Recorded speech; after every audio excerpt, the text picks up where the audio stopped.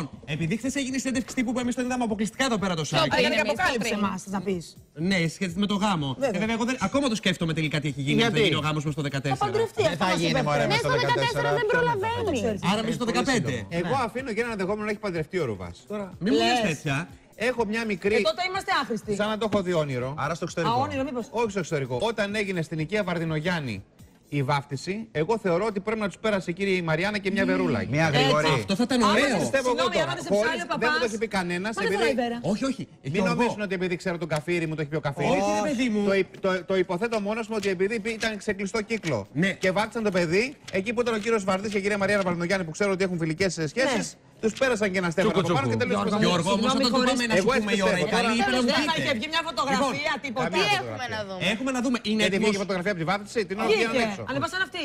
Όχι. Α, δεν Εντάξει, πάσαν αυτοί. ναι. Για την Είναι, βάφτιση. είναι έτοιμος να δεχτεί την αυστηρή κριτική ίσως των κριτικών που θα τον δουν στην παράσταση με Ε, του και στην άθλου του αρχή Ηρακλή. σκανδάλο. Και η Αναστασία τι γίνεται, έχει πάει να δει τις πρόβες. Να δούμε τι ποσάκι.